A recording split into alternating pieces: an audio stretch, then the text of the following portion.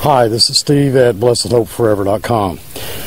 In my last video, I briefly touched on 1 John 1 9 confession, which is, well, it's a, it's a topic that needs to be addressed more fully. So I decided it was best to do just that before moving on with Romans. Now, I understand that this can be a very sensitive subject, so in order to understand the message that the Holy Spirit intended to convey, I'm going to have to uh, slaughter a sacred cow mm-hmm. or two.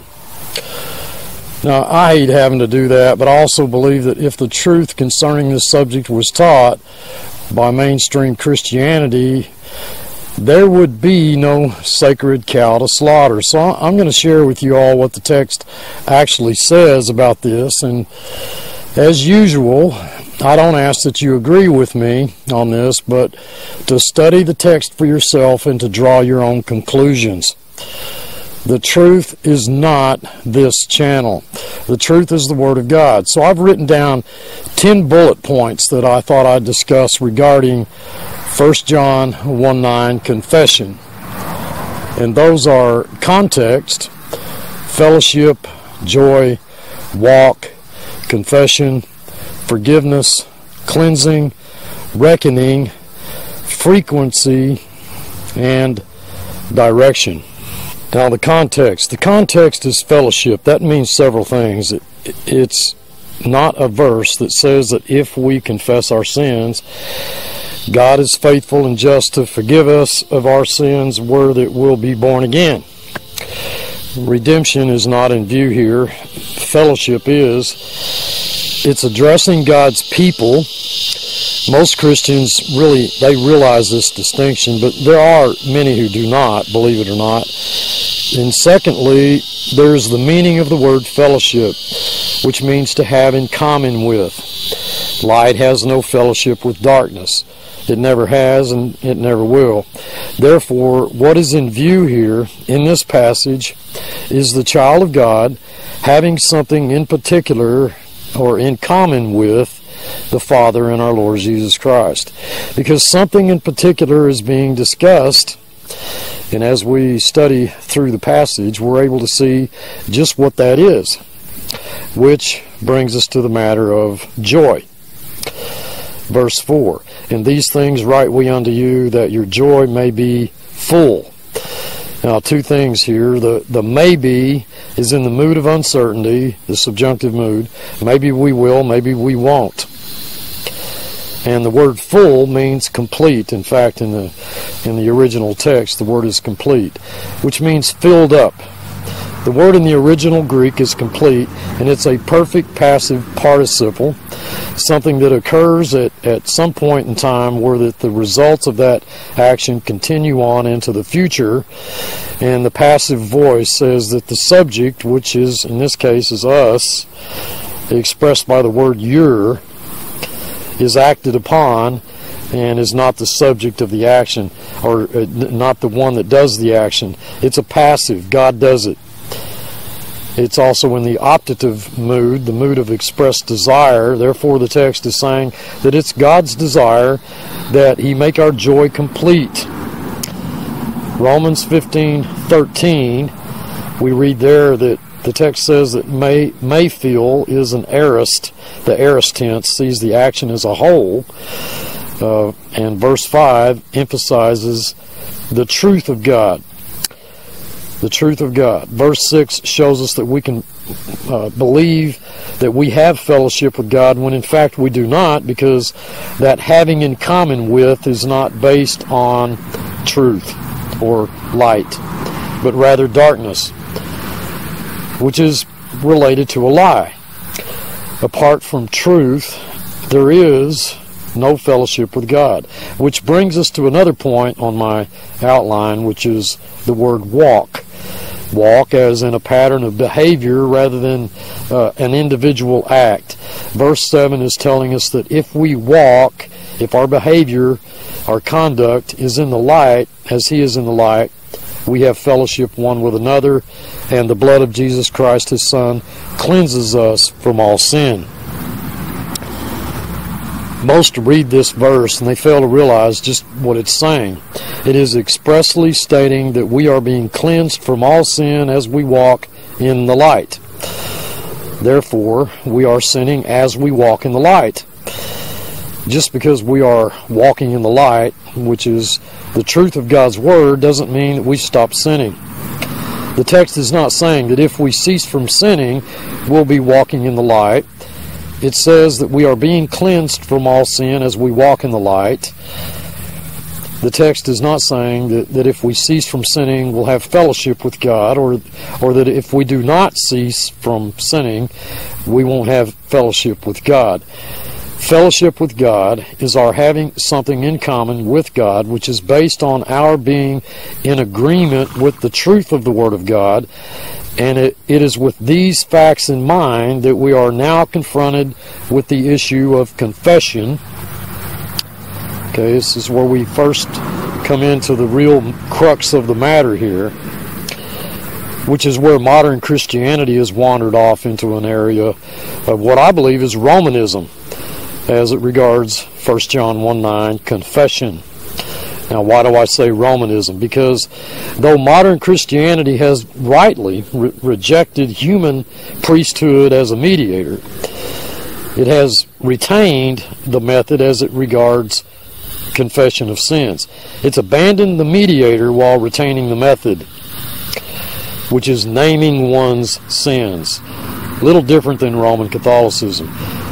That is simply not what the word confession means. The word is homologeo. I've pointed this out in the past, which means to speak the same thing as, to say the same thing. Now, I didn't make that up. That's the def- definition. That's the biblical definition of the word confess. The word confess is an English translation of one word in the Greek, which means to speak the same thing. If I said that you were my friend and you agreed with me that that was true, you would have confessed in the biblical sense of the term, of the word homologeo. It's a compound word. It's from homo, meaning the same, and legeo, to speak. To speak the same thing. Verse 8 If we say that we have no sin, we deceive ourselves, and the truth is not in us. And there we see the exact opposite of homologeo, oh, confess. God says we have sin, we say we do not. You know, are you getting this? If we say that we have no sin, we deceive ourselves and the truth is not in us. There is, there's no confession, which carries us then, now then into verse 9. If we confess our sins, He's faithful and just to forgive us our sins and to cleanse us from all unrighteousness. If we say the same thing that God has said about our sins, that's sins plural. This is not sin singular, as in the, the source of sins, the sin nature, or the old man, but sins plural. And just what is it that God has said about our sins? Colossians 2:13, and you being dead in your sins and the uncircumcision of your flesh hath he quickened together with him, having forgiven you all trespasses.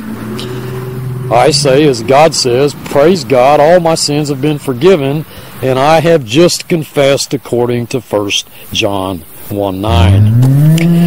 Now, going the opposite direction, again, is verse 10 if we say that we have not sinned, we make him a liar, and his word is not in us.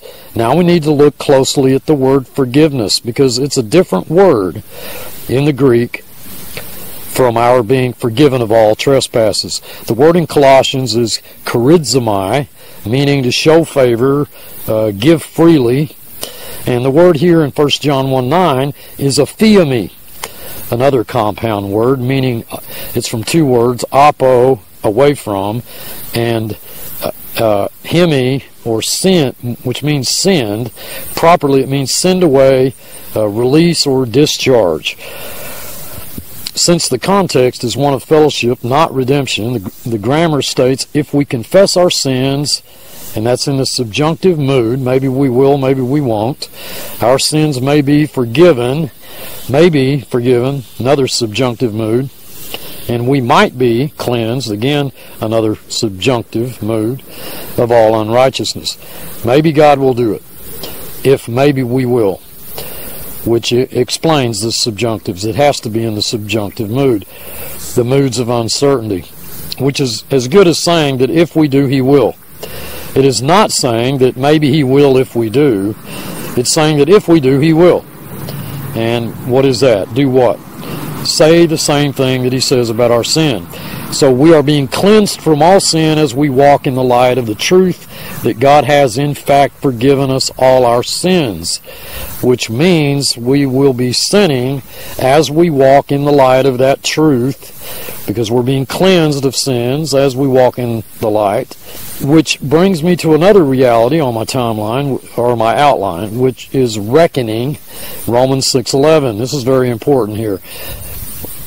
Romans 6:11 reckoning Likewise, reckon ye also yourselves to be dead indeed unto sin, but alive unto God through Jesus Christ our Lord. We are to daily. It is a present active imperative. It's a command. It's the first command given in the New Testament. Count it as true ourselves to be dead indeed unto sin, that we that we've died to sin. This is referring not not that we should die or might die or ought to die, that we, but that we are dead to sin, that we have in fact died. Ye have died, that we've died to sin. This is referring to our old man, the sin nature, the source of all sin, the the old Steve, the flesh, not the righteous new man the old man that was crucified with Christ. This is an ongoing, daily activity of us as new creations in Christ Jesus, where that our focus is no longer on the old man but the new. It's a vital, ongoing activity where that the old man is relegated to the cross where he belongs. So here's my question to you. Are we to cease Romans 6:11 reckoning, lay that verse aside, in order to con- confess all our known and unknown sins, plural, to God, in hopes that God will uh, send away, release, or discharge all that garbage on a regular basis so that fellowship with Him may continue. Well, folks, if that were true, we would be faced with some very serious theological problems that, that come into conflict with one another if 1 John 1 9 confession was naming our sins, then our being commanded by God to reckon ourselves dead to sin daily would make no sense. None whatsoever. We cannot abandon one truth for another. We can't lay aside reckoning for confession, and we can't logically do both. The truth is that we are not to focus on or become preoccupied with sins, period. Our focus is to be on Christ, not sin. And that's exactly what we see here in 1 John chapter 1. True confession is saying the same thing God has said about our sin so that sin does not become a constant hindrance or interruption as it regards fellowship with God and that our joy may be made complete we could never possibly remember all of our sins anyway. And the idea of tagging some list of sins that, that we did remember with the words, well, and all unknown sins is is purely a method stemming from the vain imagination and invention of man, not biblical truth. Protestantism has erred by not understanding the comfort of grace within the text of 1 John 1 9 and has instead opted to borrow from Roman Catholicism a practice and a method of confession that is little different than a, a private confession session, you know, minus the priest. Now, a few final points frequency and direction. As to frequency, I assure you, God does not take pleasure in His children being preoccupied with sins all the time, and confession in the sense that mainstream Christianity describes it. The entire New Testament declares just the opposite.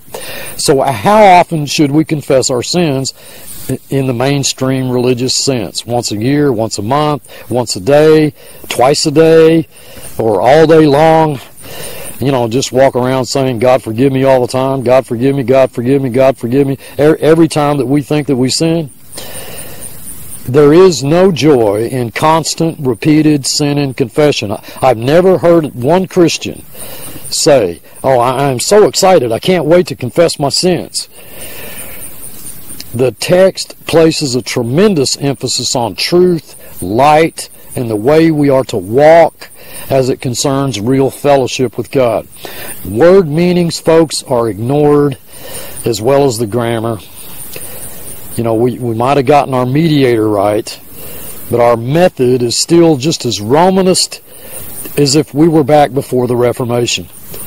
It also needs said that the trap of modern 1 John 1 9 confession also leads to us warring against the flesh to overcome personal sin, and that by means of law keeping as a rule of life. Show me a Christian whose sole preoccupation is with sins and the terrible guilt and, and oppression of 1 John 1 9 confession error, and I'll show you a Christian that's laboring under the heavy yoke of slavery to both sin and the law. Now, I hope I, this has helped clear this up somewhat. I hope and pray that this video has been a blessing and an, an encouragement to you people. I love you all, I truly do. I pray that your attention be drawn away from law to grace and from self to Christ. This is Steve. Thanks for watching.